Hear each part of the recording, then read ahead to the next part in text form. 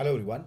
In this high yielding uh, INR series, I am going to tell you about in the INR number 75. I am going to tell you about the Wegener's granulomatosis, which is a, small vessel vasculitis. Right, another important PYQ based topic. So Wegener's granulomatosis remember this is the older name. So this is a small vessel vasculitis and it is also known as this is the new name which you have to be very careful right? So that is called as granulomatosis with polyangiitis so this name examiner may use because if you go through the textbooks you will always see they are using this name only and in that name they will be saying that it is also known as Wegener's granulomatosis. I have kept opposite, right? So just remember this name granulomatosis, granulomatosis with polyangiitis. See the name itself is telling granulomatosis means lot of granulomas will be there. Polyangiitis means many blood vessel will be affected, right? So now you understand. So many blood vessel, many granuloma. So that is why we will see that they will be having necrotizing event so this is this is whatever wherever they are going to involve they will cause necrosis and they will be causing damage. So necrotizing vasculitis will be present in these patient right? And this necrotizing vasculitis will be involving which kind of blood vessel? It is a small blood vessel. So always remember it is a small blood vessel which is most commonly affected in Wegener's granulomatosis right? So Wegener's will have triad so remember there are three things which will be commonly affected. So this will be causing, see necrotizing granulomatous inflammation is everywhere. So it will involve blood vessels, so necrotizing vasculitis when it will involve the respiratory tract necrotizing granulomatous inflammation of the respiratory tract.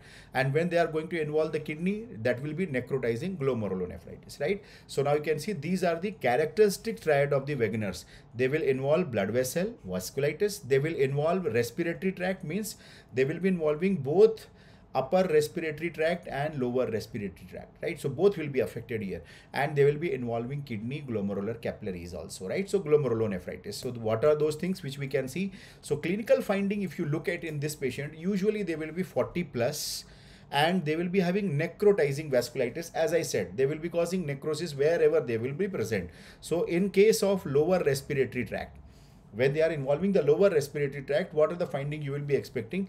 Patient will be coming with cough dyspnea and hemoptysis. So please remember this kind of presentation can be mimicking like a cancer also because of hemoptysis. So that is why we have to be very careful right? So cough dyspnea and hemoptysis will be the common presentation which will be the lower respiratory tract involvement sign.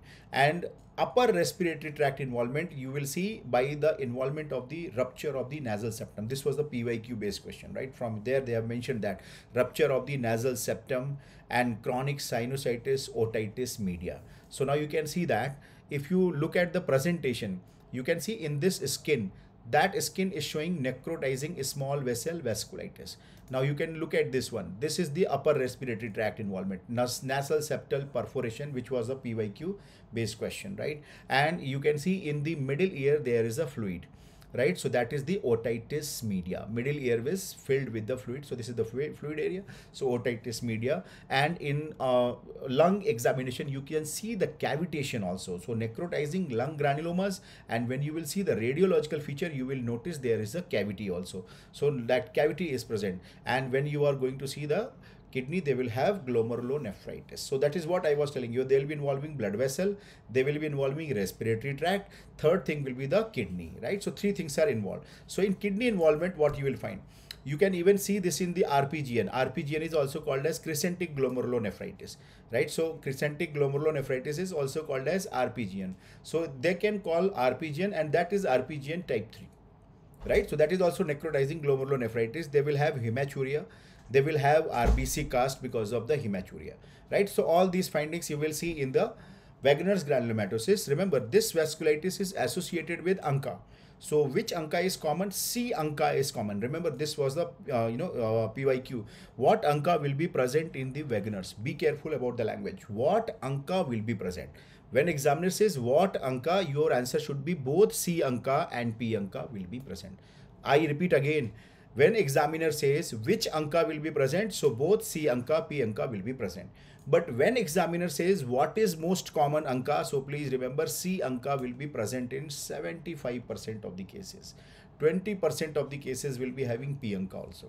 Rest of the 5% they don't have any ANCA right so these remember these important points so c ANCA p ANCA both will be present but most common ANCA will be c ANCA right? So in this patient when you are going to give a diagnosis you will take the biopsy and biopsy will be having a lot of feature. For example number one feature you will see serpentine necrosis.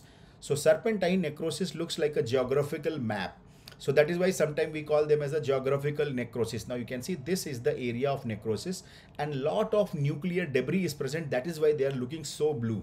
So this is geographical necrosis which you see in Wegener's granulomatosis. Then you will see the granulomatosis. See the name itself is granulomatosis. So granuloma will be there and that is why you will see in this granuloma. How you will identify granuloma? You will be noticing multinucleated giant cell, right? So remember that granulomatous inflammation means you should be able to see multinucleated giant cell. And now you can see these are the multinucleated giant cell and you can see so many nuclei are present. Again you can see here also multinucleated giant cell and there are so many right? So i'm just pointing out two. These are all multinucleated giant cells which we are seeing which confirms that it is a granulomatous inflammation. And to confirm this we will also use elastin stain so in elastin stain, what you will see, you will find rupture of both external and internal elastic lamina. Remember, you can see this black color is the elastin, right? And it should be through and through. But what we are seeing it is not from here. It is missing at this area. It is missing at this area.